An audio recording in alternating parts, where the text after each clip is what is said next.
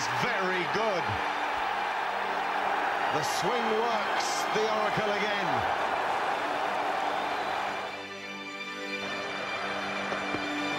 And Yorker bowled in. That is out. Great theatre, magnificent drama.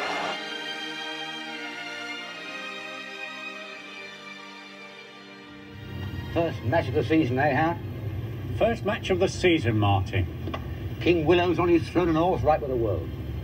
Gods and flannelled fools. Pardon? It's from a poem about cricket. Oh, very apt. How does it go on, my old Howard? That's the only line I know. Oh, well, never mind. You certainly made the point. Hello, and welcome to Gods and Flannelled Fools, Episode 7 Bradman's Invincibles. This is the series in which I walk through a history of English Test match cricket, focusing on key series, matches, players, and teams of a particular interest. Basically, I explore the myths and legends of the game that collectively have led to how we view Test match cricket today. Now, if you haven't already listened, my pilot episode, which is a brief history of the game up to the very first two Test matches in 1877, is available, as well as the first six episodes, in which I discuss the birth of the Ashes in 1882, the Great Series of 1902, the legendary bowler Sydney Barnes, the opening partnership of Hobbs and Sutcliffe, the famous Bodyline series of 1932 33, and then the career of Wally Hammond, who led England in the last ever timeless test.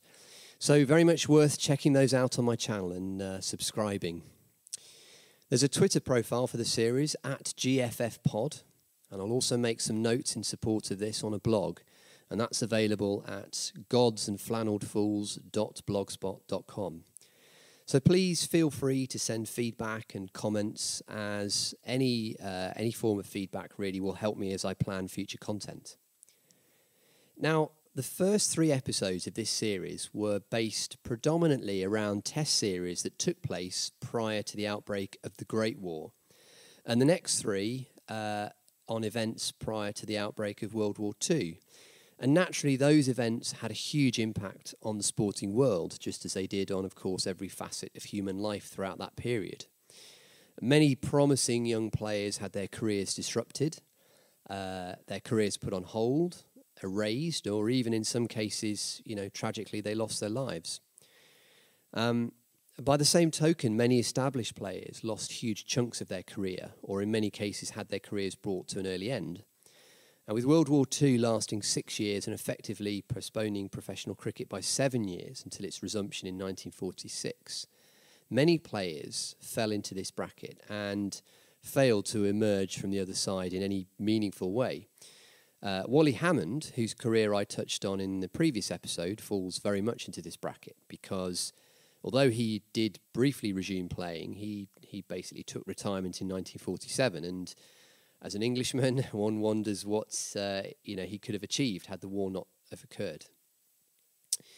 Um, there were, however, exceptions to this rule, and one such exception was Don Bradman.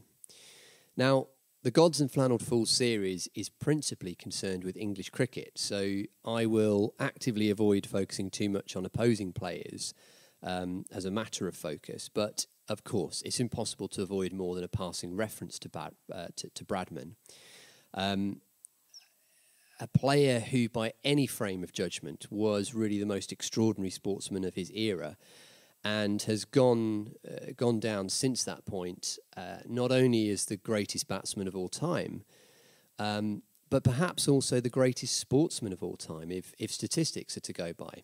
Um, as I discussed in episode five, his prolific run scoring led to Jardine's strategy of bodyline. And I mean, even in that Ashes series, with the Australian batsman taking a complete pummeling, he continued with an average of over 50. His, his technique of holding his body still while maintaining a grip and a backlift in an arc towards the slip cordon, um, whilst it was unconventional, particularly at the time, it allowed him to transition smoothly between attack and defence, picking up line and length very early.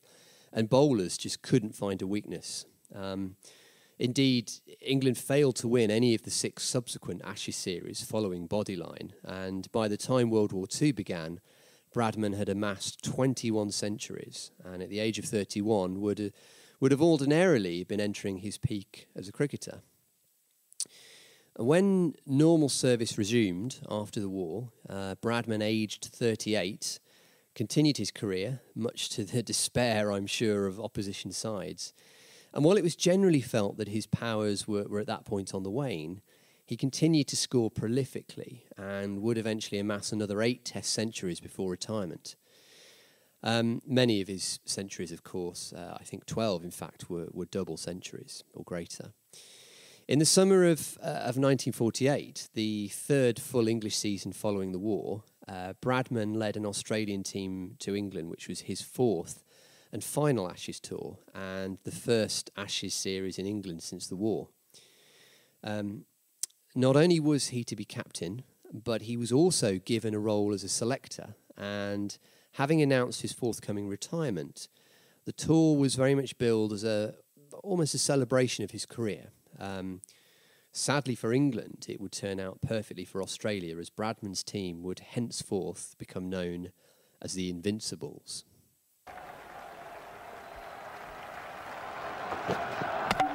That is very good. The swing works, the Oracle again. England had toured Australia in 1946 to 47 under the captaincy of Wally Hammond, who would shortly retire from the game. And it had been a largely unhappy series which had really highlighted how blighted by the war English cricket had been.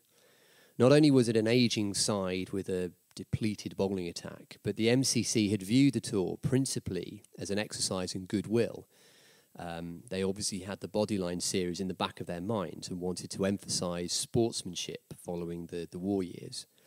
And this decision and, and point of focus really seemed to impair the English team, who was soundly beaten 3 0 um, and had to contend with some particularly poor umpiring decisions which went against them. So by the time the 1948 series arrived, Hammond had gone and England was still struggling to find their best 11. Uh, the younger players had obviously missed a chunk of first class cricketing experience, and the older players in the side were, were way past their best. Australia, by comparison, had no such issues. They, they boasted a formidable batting lineup, led, of course, by Bradman, but included Neil Harvey and their own Sid Barnes, um, and had a fast bowling attack that included Ray Lindwell and Bill Johnston. Their jewel in the crown, however, was Keith Miller, a flamboyant personality nicknamed Nugget, who was perhaps the first truly great all rounder of the game. He was he was capable of blasting runs as well as um, uh, you know being a swashbuckling top order batsman, and then he could bowl a side out with at times quite hostile pace. Having served in, in the military during the war, he, he principally viewed the game as, as something to be enjoyed and that there was far more to life than cricket. Um, and this was a philosophy that really clashed with Bradman's more puritanical view of, you know, let's win at all costs. Um, here's some thoughts on him from Michael Charlton during his interview with Brian Johnston on Test Match Specials, A View from the Boundary said about Hamlet, you know, had, had he been put on, he, he was likely to have proved most royal. I, I think that Miller uh, knew more about the game than many people have forgotten. Was was a, a, a, most inspiring figure. But he had this lovely casual approach in oh, everything yeah, he did. Yeah. Uh, you, you, I think you've got a rather good story about on one occasion he was in New South Wales. I'm, Johnny, I'm not sure you. You can tell. You, what? You have my permission to tell it. No, no, no. Yes, you can. No, you must do, otherwise I shall. Much better for you too. What? No, no, another yes. bastion falls. well, um,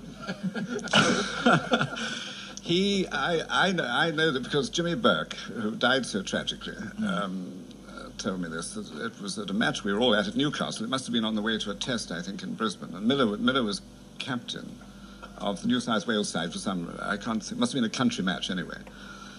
And they walked out on the morning, rather hot sun, and I remember Miller's eyes were, were shielded against the sun this particular morning. And, and Burke said to him, as they walked out, I think he was the younger, youngest member of the side, and he said, um, uh, Excuse me, Nugget, they all called him Nugget. Um, excuse me, Nugget, we've got, there are, there are 12 men, he said. And Miller, without turning round, said, well, somebody bugger off then. and, went, and, went, striding on. Just kept on, didn't even look round, yes. But he, Wasn't he, but he had this They won the game, though. He had this wonderful habit, which you do quite well, Mike. He used to sort of always give a bit of a cough before he played, didn't he? Yes, I can't do that. Burke could do it perfectly. yes, he wants to clear his throat. yes, somebody leaves the field then. Uh, uh, Jimmy, Jimmy Burke. So Australia arrived in England to a wild fanfare of support, seemingly with all bases of their team covered, and their efforts did not fail to disappoint, with Don Bradman publicly proclaiming from the outset that he wanted to remain unbeaten, which was an unprecedented feat in any touring side to that point in cricketing history. Now, the first test at Trent Bridge resulted in a comprehensive eight wicket victory for Australia with Bradman scoring 100, and only Denis Compton, the promising English batsman who had emerged just prior to the war, offering resistance against the, the Australian quicks uh, with an impressive 184. And the margin of victory was even greater at Lords, where England were crushed by 409 runs. And then only rain saved them at Old Trafford. Uh, again, Compton making 100 in a game in which opener Len Hutton was controversially dropped uh, for a perceived weakness against the pace attack. Uh, this draw was the only real crumb of comfort for England throughout the entire summer as Australia continued to dominate, and they they won the majority of matches and, and remained defeated throughout, with uh, Bradman really ignoring Miller's protests at his hard nosed attitude, um, especially uh, during what had been regarded as, as festival matches. Um, so the, the, the, matches against the, the lower county sides of, of lesser ability. Uh, on one such occasion, Australia had scored a massive 721 runs in a single day against Essex. Uh, you know, this is something you can you can only imagine the likes of Allan Border or Steve Waugh doing several decades later as the, the ruthless Australian streak really took hold. So, following the, the solitary draw in the Test series, um, Australia won the fourth Test at Headingley by seven wickets to go 3 0 up in, in the Test series, with Don Bradman making his 29th and final 100 in a successful run chase. And the teams then took to the Oval, where the Aussies wrapped up a 4 0 Test victory with a mammoth innings and 149 run defeat of England uh, really quite depressing for, for England on home soil. Uh, and this, this ensured their status as the Invincibles. And this particular match was most famous for Bradman's final innings. Um, he knew it would be his last test, but he could not have known that he would only get one shot at, uh, at the crease because England were bowled out for a pitiful 52 runs in the first innings with uh, Ray, uh, Ray Lindwell, sorry, causing havoc on a on a green damp wicket that must have been very difficult to bat on. Arriving at the crease with 6,996 test runs to his name, he needed only four to finish his career with 7,000 runs and a test average of 100. And despite the fact that England were being battered by their opposition, the crowd um, uh, gave him a standing ovation and the English team sportingly gave him three cheers. Uh, however, uh, this sort of elevated ceremony seemed to have an effect on him because he was bowled by the spinner Eric Hollies for a second ball duck to leave him on an average of 99, something that still remained over 35 runs more than the next highest batting average to this day. So uh, I, I, think we can temper any sense of failure, but it's uh, it's certainly an extraordinary um, uh, sporting statistic that uh, uh, that that is so widely known across all sports to this day. When England took the field, Barnes and Morris made a good start, and Barnes' wicket fell at 117. Enter Don Bradman, who got a great ovation. Don Bradman walked out to bat, needing only four runs to average 100 in Test cricket. I was not aware that it was going to be my last innings. Uh, neither was I aware at that stage that I only wanted four runs to have a test match average of 100. And uh, it was a pretty emotional occasion because Yardley called all his fieldsmen around and they all gave me three cheers before I took block.